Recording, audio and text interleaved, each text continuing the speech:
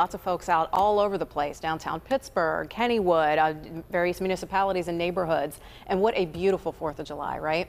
Yeah, it was really nice. I was outside with the kiddie pool and just Yeah. kind of relaxed. Crazy how great it was until today. Yeah. Which is okay because the holiday weekend's over. But we do have this huge crowd Yeah. Hoping to watch some baseball tonight at PNC. I think they're going to luck out tonight. The next really big chance for any isolated showers and storms is going to be later on overnight. So clouds are keeping things a little more stable today. We're at 82 degrees. It's muggy. We have those winds out of the southwest about 10 to 15 miles per hour, so it's breezy, and that's pumping in that warm air and moisture. But the severe weather threat for today has diminished. That's why we called off the first alert weather day earlier this afternoon. 79 right now in Butler, mostly cloudy, 81 in Beaver, 80 New Castle, cloudy skies, 79 in Franklin.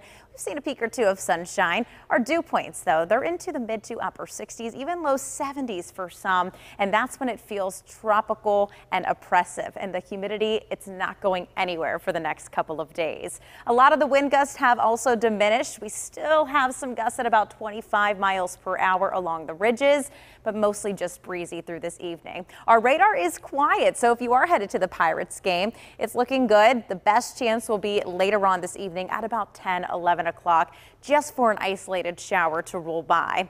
Mostly cloudy right now. If you are planning to take your dog for a walk, this is Bella, courtesy of Cynthia. Love German Shepherds. We're going to see the chance for showers and storms again right at about 10, 11 o'clock. So maybe just go out 7 to 9. Looks better that way. And then as you're headed to the Big Butler Fair the next couple of days, just keep the umbrella close by. Scattered showers and storms will be around. There's going to be dry time you'll be able to enjoy, but the heat and humidity will be sticking around. It's going to feel very similar to what it felt like today. So looking at our muggy meter, we do catch a break from the humidity just in time for the weekend. It'll drop off by Saturday and into Sunday. Plus, we're going to have a lot of sunshine and we hold on to the 80s. So it'll be great to be by the pool. Looking at our future cast, let's time out these isolated showers. Most of these are tracking to the south and off to the east overnight, and then we'll get some breaks and some dry time tomorrow into the afternoon. By Wednesday night, another round of some scattered showers and storms are possible. But again, most of these are tracking to the south and east south of I-70. By Thursday, we have another chance for some showers and storms. We'll see a good bit of sunshine, but that could also help to fuel those storms through the day on Thursday.